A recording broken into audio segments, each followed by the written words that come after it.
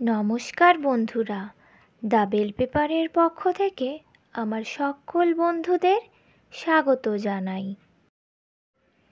আমাদের প্রত্যেকের বাড়িতে ডাল রান্না হয়ে থাকে। সেই একই রকমভাবেই আমরা প্রতিটা ডালে ফোড়ন দিয়ে থাকি।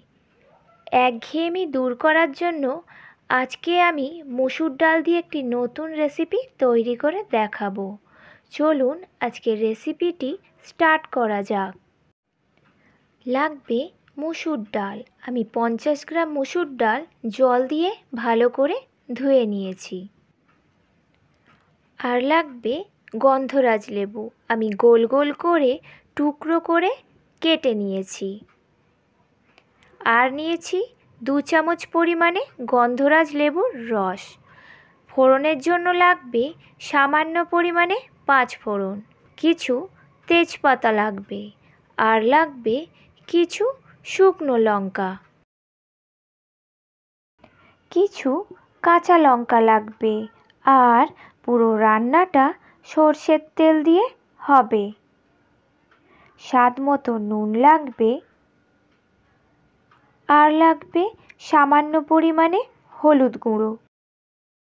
গ্যাস ওভেনে একটি কড়াই বসিয়ে দিলাম আর তার মধ্যে দিয়ে দিলাম পরিমাণ মতন জল।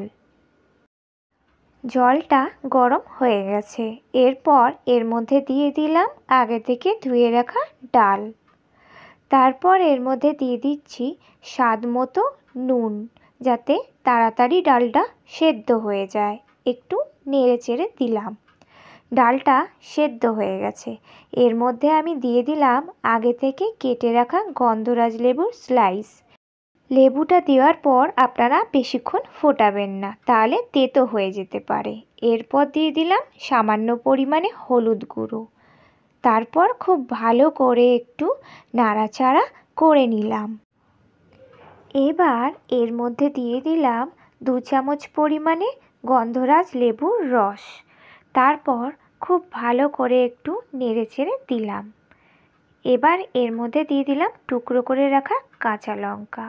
একটি কড়াইয়ের মধ্যে দিয়ে দিলাম দু চামচ পরিমাণে সর্ষের তেল। তেল গরম হয়ে গেছে, এর মধ্যে দিয়ে দিলাম টুকরো করে কেটে রাখা শুকনো লঙ্কা আর তেজপাতা। একটু নাড়াচাড়া করে নিলাম। তারপর এর মধ্যে দিয়ে দিলাম সামান্য পরিমাণে পাঁচ ফোড়ন। আবারও একটু নাড়াচাড়া করে নিলাম।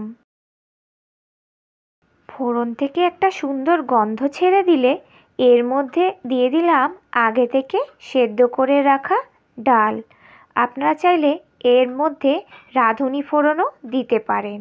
একটু নাড়াচাড়া করে নেওয়ার পরই নামিয়ে নিলাম। এইভাবে গন্ধরাজ লেবু দিয়ে ডালটি তৈরি হয়ে গেল। যদি আমার রেসিপি আপনাদের ভালো লাগে, তাহলে লাইক করবেন শেয়ার করবেন আর সাবস্ক্রাইব করবেন। ধন্যবাদ।